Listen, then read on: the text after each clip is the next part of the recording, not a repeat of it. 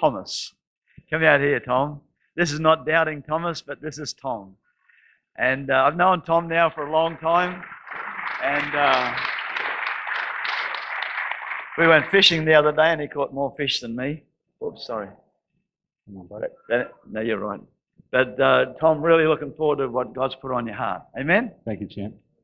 Thank you so much, Neil. I really appreciate that. And I do want to say, Neil, I just appreciate you and Nancy so much. I've known, I think it's nearly 35 years now, maybe 40 close that we've known each other. But I just want to say, Neil, that I'm just impressed with who you've become as a man of God. Uh, I'm just so impressed with your humility. The thing that impresses me most is the times that I've just seen you on your face before God seeking God. Uh, I can I can submit to a man who does that, and I'm just so pleased with. Going to have a month of seeking His face. That's wonderful. Uh, you know, we live what we believe. We become who we believe. Many of us, you know, we believe about God. We believe things about God, but there are three things. There are three aspects of what we believe that we've got to get right. First is we've got to believe God is who He says He is. Rather than being reactive to circumstances and blaming God, we've got to know who He says He is. Secondly, we've got to believe who He says we are. And He says a lot about that. And I want to look at, explore a little bit about that this morning. Then we've got to believe about what God says about others. It's so important because you will get what you believe. It's a law of the Spirit. What you believe is what you will get.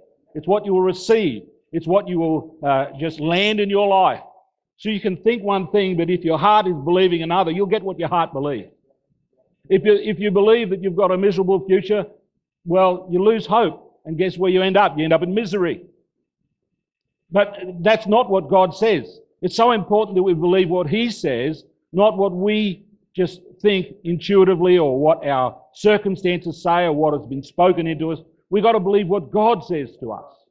When I was a young man, I had the great privilege of hearing the Word of God preached with life and with power, and something was imparted into me.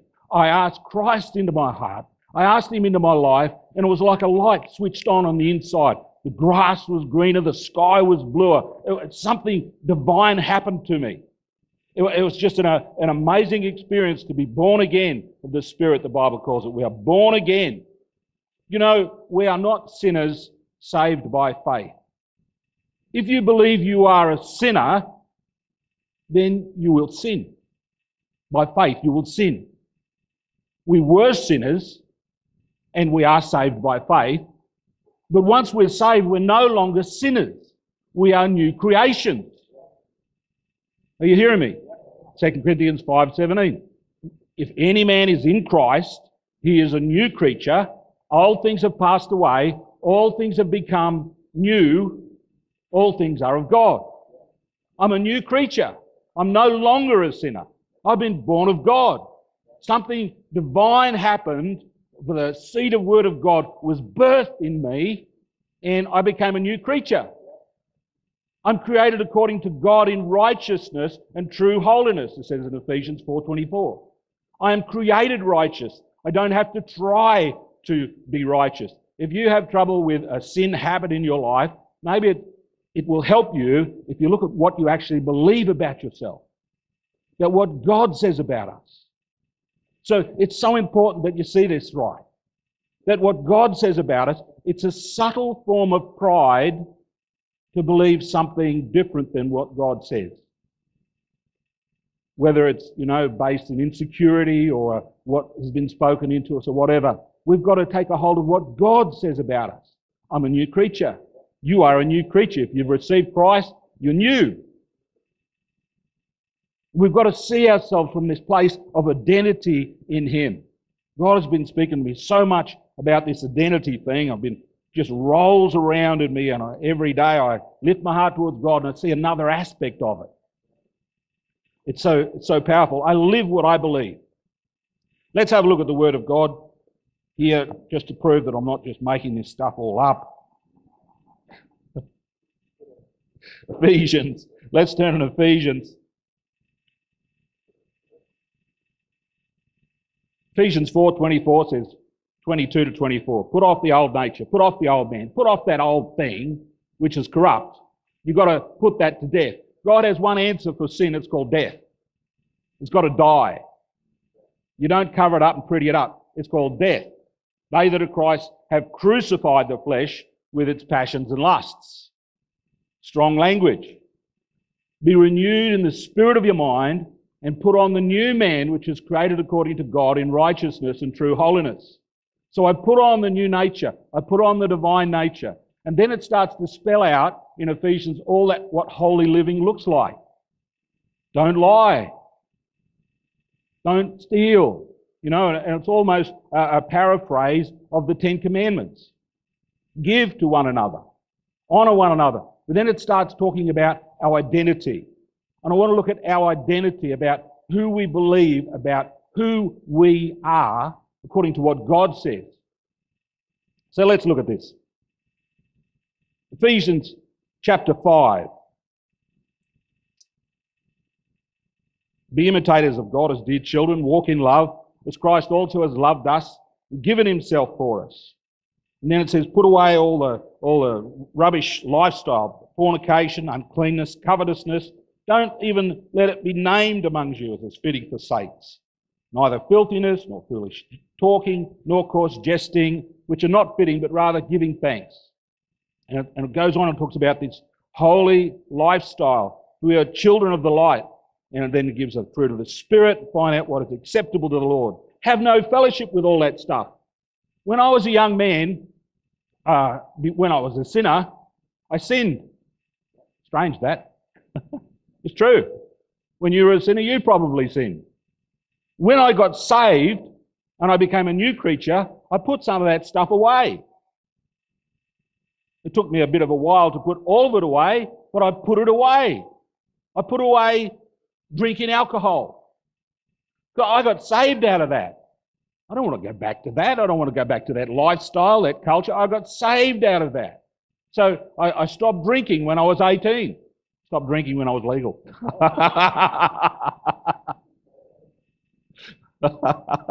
Put it away.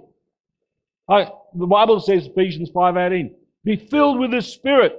Do not get drunk with wine, but be filled with the Spirit. It gives us an alternative. Jesus said, whoever is thirsty, come to me and drink. We've got to learn how to drink from that supply, friends. We've got to learn how to drink from Him. It's far more fulfilling than going to the pub, I can tell you. And, and learn to drink of the life of the Spirit.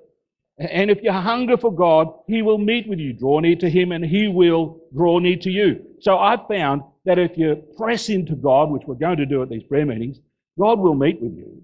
You will have encounter with God. He wants to meet with you. His desire is for us. It's not just so that we know about Him, it's so that we know Him. Hello, you hear me? Okay. He wants us to come into this place where we have continual relationship and encounter with the living God. Ephesians 5, let's go to verse 21. Submit to one another in the fear of God. Wives, submit to your own husbands as to the Lord. For the husband is head of the wife, as also Christ is head of the church, and he is Saviour of the body. Therefore, just as the church is subject to Christ, so let wives be to their own husbands in everything. So he's talking here about the picture of husbands and wives, but he says Christ is head of the church. You and I, as members of this church, we're the church, hello? So we need to submit to Christ, who is the head. I used to read this thing and always put it in the context of marriage, but he's talking about a spiritual truth here of how we walk with Him. He is the head, and we've got to submit to Him. Then it goes on and says, We are His body. We are members of His body, of His flesh, and of His bones. We are members of the body of Christ. You are the members of the body of Christ. Christ is in me. Again and again, the scripture talks about Christ is in me. I received him in me. Christ is in me. He's in you. If you've received him, he's in you. And we are members of one another. Therefore, if we're members of one another, it's very important how we treat one another. He's in me. If Christ is the head, what happens from the head? What happens from the head of the home? As a husband is the head of the home, I'm the head of the home my beautiful wife. We've been married five years now on Friday. And, uh, you know, she's my wife. The Bible commands her to submit to me. So my responsibility towards her, which it also spells out there, is to lay down my life for her. So I am the head of my home, which means I don't get my own way. I have to die to my selfishness to meet her need. Am I falling off here?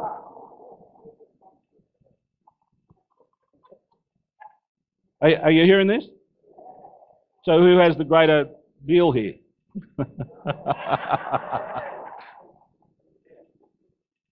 but as the head, my responsibility is to provide for her, to protect her, and if she goes out, she goes out in my name. She's taken my name. She's taken all my authority.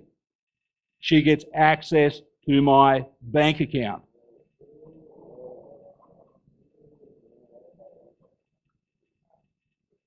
Isn't that true? Come on. Christ is the head. It's speaking about our relationship with Christ. Christ is the head. It's His responsibility to protect us, to provide for us. He's already died for us. He will protect, provide, and give us His authority, and we have access to His bank account. Are you hearing me? Come on, this is the relationship that we have with Jesus. We've got to get our identity from Him. We take His name. I want to push your thinking a little bit in this. I want to push a, a step further than maybe that you've already gone. We are in Him. We are members of His body. Let me use, can I have an example? Greg, can you help me here? Oh, thanks. Come up here. we are members of His body and His flesh.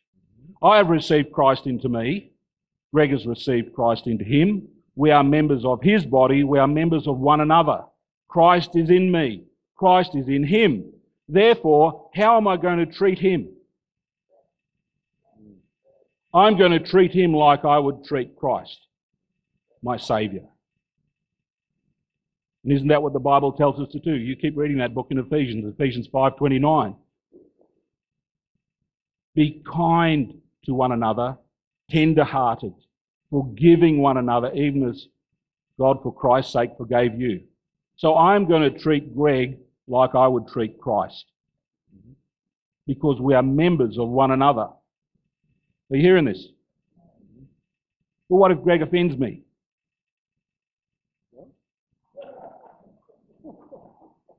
Well, that's why it says forgive. And so I've got to, it's my choice now to treat him right as members of one another. Thanks, Greg, you can sit down. But you might say, Tom, you don't know how badly I've been hurt. You don't know how badly, you know, people have done and said things to me. Well, I don't read anywhere in the Bible where it says, okay, if you've been hurt this much, then you give, but if you've been hurt this much, then keep it. I don't read that anywhere. Maybe it's in the book of Second Suggestions. You might have read it. I, don't, I don't read that. What, what Jesus did while he was hanging on the cross, while they had crucified him and whipped him and put a crown of thorns on his head and mocked him and spat on him and beaten him, Jesus said to those soldiers, Father, forgive them. That's the example that we have to follow. Forgiving one another. Be kind to one another. Tender hearted. You know, sometimes our body doesn't do what it's supposed to do. We're His body. He is the head. I've got a head. This is my body. And sometimes my body doesn't do what my head tells it to do. Have any of you ever fallen over your own feet? Sometimes, you know, my body just doesn't want to do what it's supposed to do. And that's where I end up, on the floor. That's why we're supposed to submit to Christ, who is our head, so the body doesn't stumble over itself. And we don't end up on the floor in a mess. Are you hearing this? Jesus said, If you love me, just do what I say. Please, if you love me, do what I say so that we don't stumble over one another, so that we don't fall, so that we don't mess up. Be kind to one another, tender hearted. How hard is it to be kind? Hello? We've got an egalitarian culture in Australia, and part of our Australian culture is to knock and to mock one another, take a mickey, sledging, whatever you want to call it. It is so ungodly against what God tells us to do. It's such an opposite to what the Spirit of God says to do.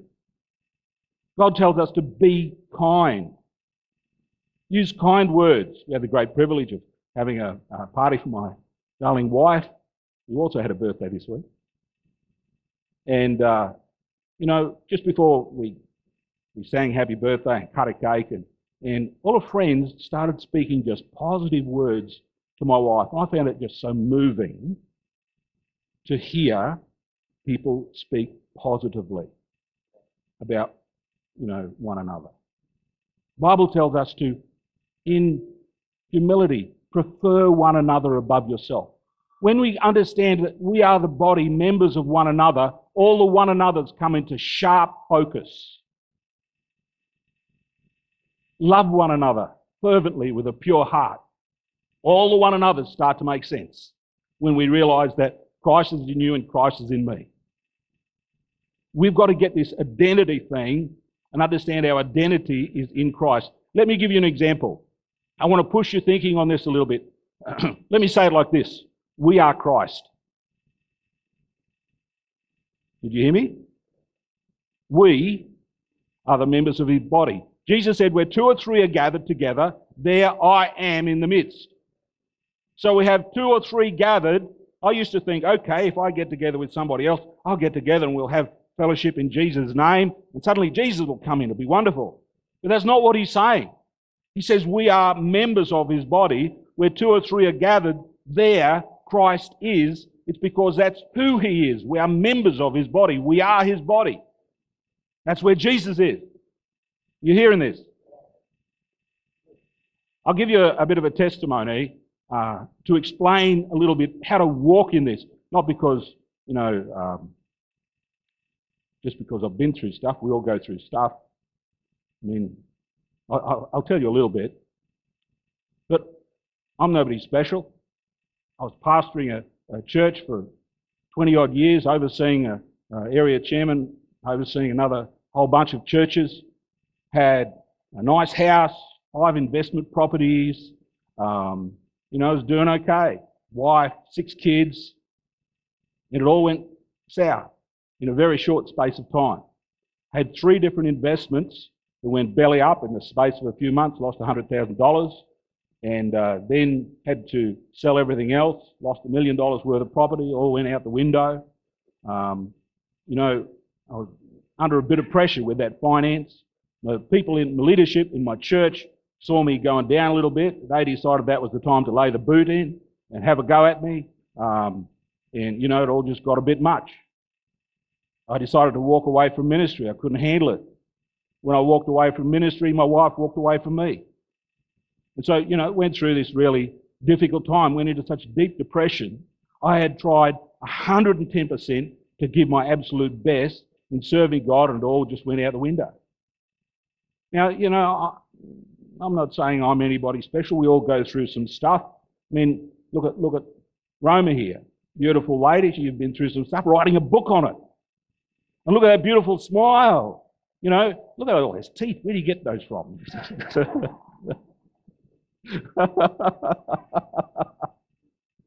so, you know, it's, it's nothing special we go through stuff. Most of us here have been through some stuff somewhere, somewhere down the track. But the special thing is how we walk out of it. So this is what I want to share with you, okay? So I lost my, I lost my money, lost my marriage, lost my ministry, lost my mind, lost my motivation. I swore to God I'd never speak in church again. And yet here I am. The grace of God. The grace of God. God, God did a number on me. And I had this, you know, these thoughts would come into my mind of, of condemnation and failure. You're no good. You failed. You've done your best, but it's all fallen apart. Nothing works. you know, you, you might as well give up. And I had these thoughts just continually come. Well, guess where they were coming from? They weren't coming from God.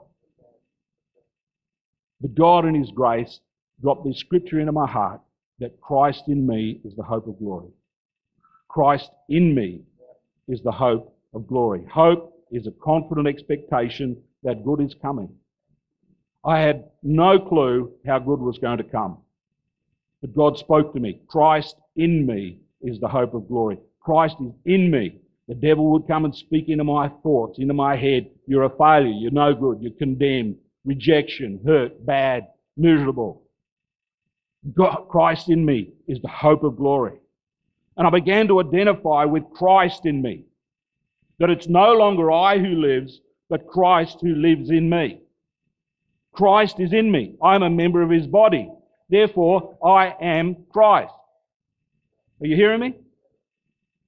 So these thoughts would come. You're a failure. But Christ in me has overcome everything. He's overcome every devil. He made an open show of them, triumphing over them. Christ in me overcame. I might be a total failure, but the Christ in me is a total victor. He's a total victor. Christ is in me. He's the hope of glory. And that thing broke by the power of His Spirit. I think I'm going askew here. What's? That, that, that had no power any longer. Fix me up. I think I've broken something. I don't know. I got to the place where it did not matter. The devil could say anything to me, call me anything he liked. Failure, miserable, hopeless, no good or nothing. Didn't matter what he said, Christ was in me. And I began to identify with Christ. Are you hearing me this? Christ in me. So I am a member of his body. I am, we are Christ. So when the devil was speaking to me, he was speaking to Jesus. It's no longer I who lives. Are you hearing this? It's no longer I who lives. Christ is in me. When the enemy comes and he speaks that sort of stuff in your life, Christ in me. That's who I am. He is the head. I'm not the Savior. I'm not saying that. He is the head, but I am his body. We are Christ. The devil cannot have any power over that. That victory, that fight has already been fought and won. We've got to identify with him. Turn to the person next to you and say, I see Jesus. Because that, friends, is the truth. You are Christ. Yes, whatever that was. we are Christ. Are you hearing that? You've got to see it from the place of identity, not from the place of works. If you just do it from the place of works, Jesus did this, Jesus did that, Jesus come and help me, come and do something, then you miss the point. It's not from a place of works, it's from a place of identity. I am Christ, Christ is in me, He is in me, I am in Him. That's what it all says all the way through the Word of God. Go and read it. Romans 12 talks about the body, and at the end of it, it talks about, you know, when we get offended with one another, overcome evil with good. It's not about how hardly you've been dealt with, friends. It's about identifying with Him. I am a new creature. I'm not an old one. I'm a new one. Sometimes this body, you know, I don't know.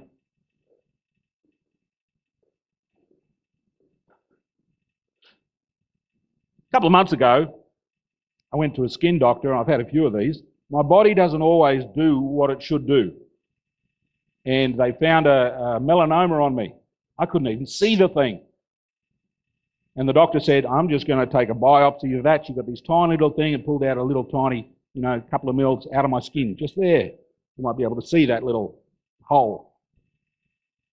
He came back and said, That's a melanoma. We need to take more out. I said, Why do you need to take more? Oh, just a precaution.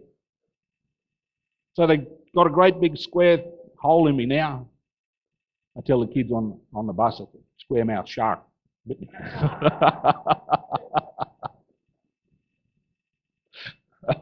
Sometimes my body, you know, it, it doesn't function like I want it to. Sometimes there's things. And sometimes we can look at other people and think, what are you doing in the body of Christ? I want to cut you out. You're no good. But Matthew tells us, Matthew 7, judge not unless you'll be judged. You'll get judged the same way as you judge. Don't judge other people. Because if you judge other people like that, that's what you're going to get. So if you want people to get cut out of the, of the church or cut out of the kingdom, well, guess what you're lining up for? Hello? Are you hearing me this morning?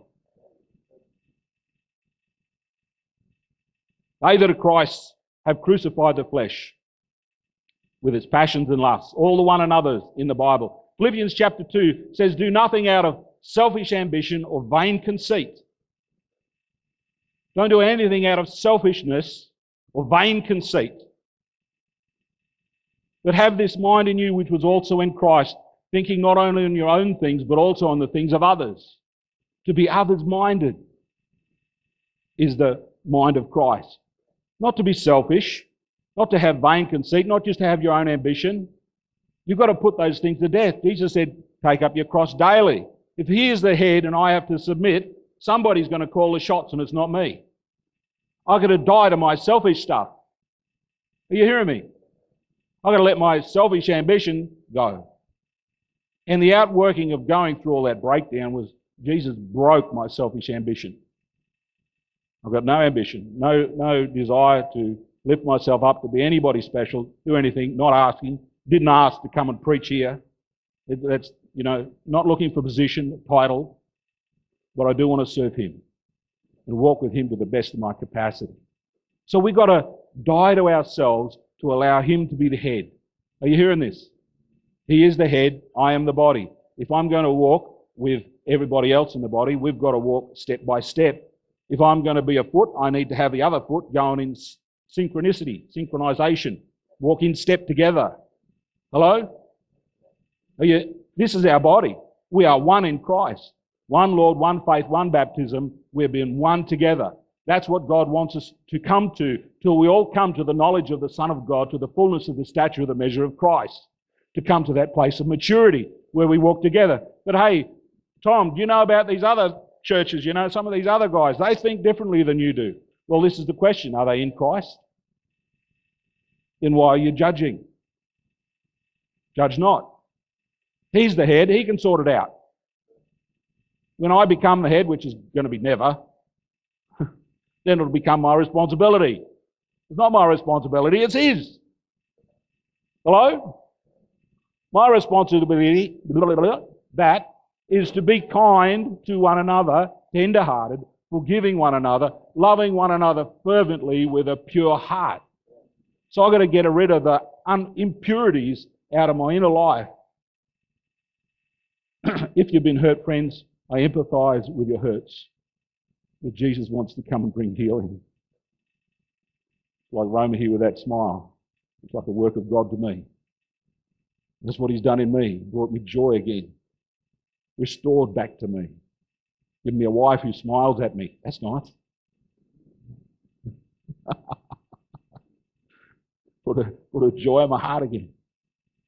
Because I am part of Him. I am His body. Putting down my own selfish ambition. Putting down my vain conceit. Putting down this stuff that causes me just to run around doing my own stuff. You know it's the people closest to you that can hurt you the most? That's why it's so important that we forgive. All the one another's in the Bible, the Bible says, uh, I think it's in James, it says, confess your faults to one another and pray for one another that you may be healed. How many times have you had somebody come to you and confess their faults to you? How many times have you confessed your faults to somebody else? Hello? Don't feel quiet. but yet that's part of our healing journey. To find healing is to be transparent and open yourselves to others. In the beginning, God created man out of the dust of the earth and he formed his body. But then he didn't come along and kick it and say, Get up, time to get up. Sometimes I feel like that in the morning. Wish somebody had come along and kicked me. It's time to get up. God didn't do that. He breathed into him a life giving spirit. We are his flesh and his bones. We come to communion and we drink his blood. In my body, I have blood flowing through me, through my flesh and my bones, but that blood needs to be oxygenated. I need to breathe. Everybody breathe. Okay, everybody stop breathing. You disobedient bunch. Uh, so we all just breathe. Anybody had a time when you stopped breathing for a while? Not much fun. I was just talking with Roy earlier about sleep apnea, where you stop breathing at night. It's hard to sleep during that when you stop breathing. And it's not much fun. We are the body of Christ. We are his flesh and his bones because he poured out his blood at Calvary. So then we have to, by faith, partake of his blood. But the Lord God breathed a life giving spirit. We need the Spirit of God like we need breath. We need the Spirit of God to come and breathe and make us alive. The Spirit of God quickens our mortal body. The Spirit of God, we need to have it bring life flowing through the blood of Christ, through the flesh that is the body of Christ, and brings life to us. Are you hearing this? Neil gave that prophetic word this morning about that God is going to come and do something bigger in us. He's about to break forth upon us. It's what you believe, friends, whether you go into it or not. I choose to believe what He says, even though it might not be my experience. I want to believe for it to become my experience, and then I will walk in it. We will walk in it by the power of His Spirit, because His Spirit is speaking to us all the time. We need that like breath. The breath of God to breathe through us and breathe revelation and life and victory and wholeness. The same Spirit that raised Christ from the dead lives in you. Hello. The same Spirit, not a different one, not a junior one, not a baby one, not just a part of a one. It's the same Spirit. The same Spirit lives in you. If I am the body of Christ and the same Spirit lives in me, I identify with Christ, then all things are possible to him who believes. There is nothing that's impossible. All things are possible. Because I am his body, I've got the same spirit, I can do exactly the same things that Jesus did, as long as I'm in obedience. He is the head, we just walk in it, and miracles happen. Life explodes around about us. Forgiveness flows. We walk in the grace and humility. If we get proud and think we're somebody special with it, well, guess what? Pride will get you kicked out just like it did to Satan. We can't walk in that. It's about walking with him. In honor, preferring one another. Are you with me still? Revelations 12:11 says we overcome the devil by the blood of the lamb. So we've got to know how to apply the blood of the lamb. There's a difference between the shed blood and the sprinkled blood. We've got to know how to apply the blood and work with the blood of Christ by the word of our testimony. I've given you a testimony today about me, about how God came and He broke uh, that rejection and that failure and condemnation. Therefore, there is now no condemnation to those who walk according to the law of life in Christ Jesus. There is no condemnation because we identify with Him. Hello? And, anybody remember the third one? They love not their lives unto death. We've got to deal with our selfish stuff. We've got to deal with our selfish ambition. We've got to die to ourselves. That might sound like a hard thing, but I can tell you for the joy that was set before him, Jesus endured the cross. And it's the same for us, friends. There is joy on the other side. There is joy on the other side of dying to selfishness. There is such liberty and such joy. The kingdom of God is righteousness, peace, and joy in the Holy Ghost. There is joy, there is joy, there is joy, there is joy, there is joy, there is joy, joy, joy, joy down in my heart. Oh, I can almost feel like dancing. there is, oh, can I? anyway, so. Greater love has no man that he lay down his life for his friend. If we love Jesus, we will lay down our selfish ambition for him. If we love Jesus, we will lay down the stuff that pushes against him our selfishness. No greater love has a man that he lay down his life for his friend. And for us to love Jesus, you've got to lay down your selfishness. Just do what he says. And it's fun. He brings joy. If you love me, keep his commandments. Jesus said, if we are his disciples, we will have love for one another. By this, the world will know. Not just you, but everybody else will know if you love one another. Does that mean you just smile at one another and give each other a big hug? That's the end result of it. But the real love is overcoming evil with good. Real love is displayed by laying down your life and forgiving when people don't deserve it. Real love is displayed in those hard moments when you come out of misery and hell and find joy again. Real love is displayed by being kind to one another, tender hearted, forgiving one another for, for the same as God forgave you for Christ's sake. Are you hearing me this morning? Come on, there's, there's, there's meat in this. But it comes out of the place of identity. Jesus is in me. We are Christ.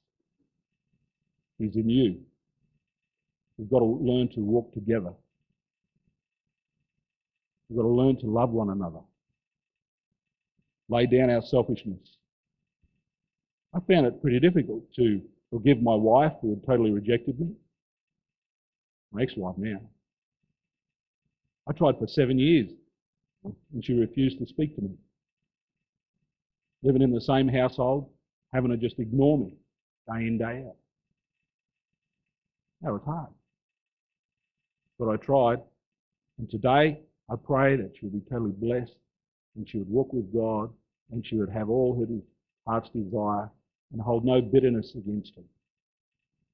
Because I don't want to be that bitter man. I don't want to be that old, bitter person full of hurt. I don't want to be. One more testimony. The Lord challenged me and told me to forgive.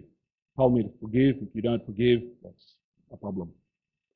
So I had to forgive all the people in my the leadership in my church that had betrayed me and turned against me when I was down. I had to forgive them. I had to forgive all the people that had hurt me. I had to forgive my wife. I had to forgive my kids that didn't want to know me. I had to forgive everyone. And I did it even though it was in a constant state of heartache and just wanted to cry all the time. I just chose to forgive. And I forgave. And The thought would come up, the memory would come up, I choose to forgive. The thought would come up, the memory would come up, I would forgive again. Every couple of minutes, I would choose to forgive. Then it became every half an hour, I choose to forgive. Then it became every couple of hours, I choose to forgive. Then once a day, I choose to forgive. I remember that. And I remember the heartache and the pain. I choose to forgive. Then once a week, the thing would come up. I choose to forgive. And then there came the time when I would not remember it at all. I had forgiven and let it go, but I was still in a place of heartache. And I thought, you know, God, how come I'm still in heartache? I've done what you asked. I've forgiven everybody. I pray a blessing upon them. I don't hold offense against them, but I'm still in heartache, God. Then a friend spoke to me and says, you know, I was like that, but I asked, I just asked Jesus to take the heartache because it was more than I could bear.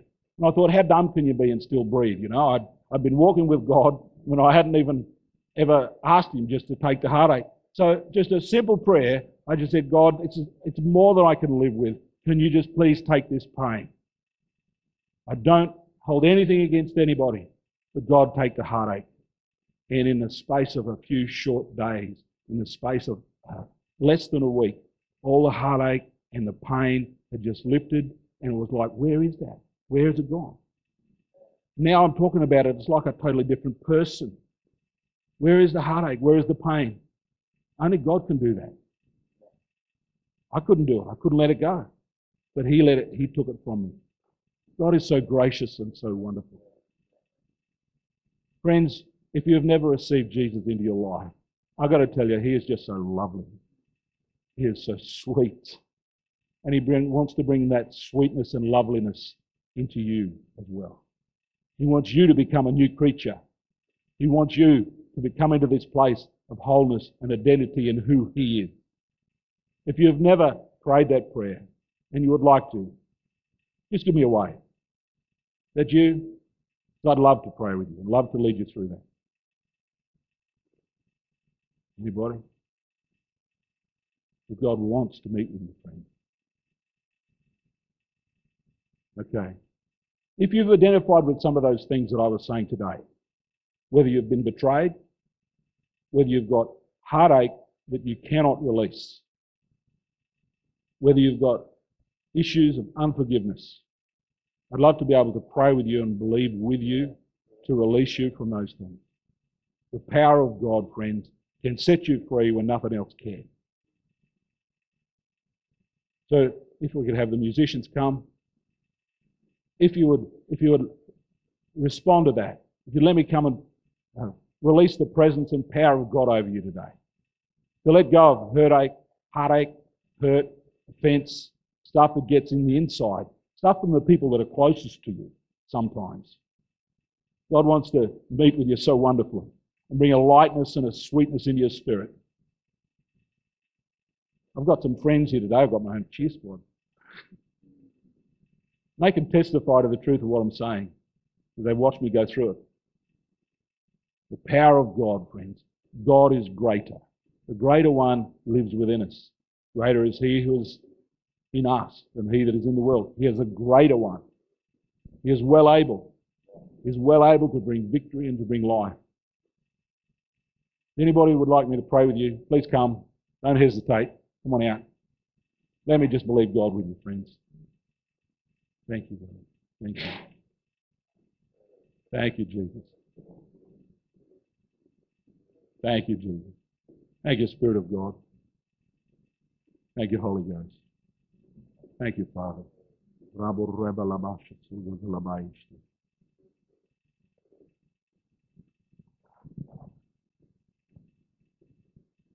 Thanks, Jody. Thank you, Jesus. Thank you, Spirit of God. Uh, uh, I just sense the Spirit of God wants to touch hearts today. He wants to get deep on the inside. He wants to bring you to a greater place of wholeness. Because you can't walk into victory unless you've been made whole. You can't walk in to carry something more if you haven't been made whole first. He wants to bring you into this place of wholeness. He wants to deal with it. Thank you, Spirit of God. Thanks, Jody. Let's, let's close our eyes and pray. Heavenly Father, we thank you. Yes, we do. We thank you for your grace, for your presence. We thank you, Spirit of God, for your grace and your goodness. We thank you for all that you've done for us, but who you are in us, Lord. Christ in us is the hope of glory. Christ in us is, is the place of victory and wholeness. Thank you, Spirit of God, for speaking to us, for imparting to us today. Thank you, Holy Ghost, for touching these lives. Thank you, Father. Thank you, Father. Hallelujah. Thank Thank you, Lord Jesus.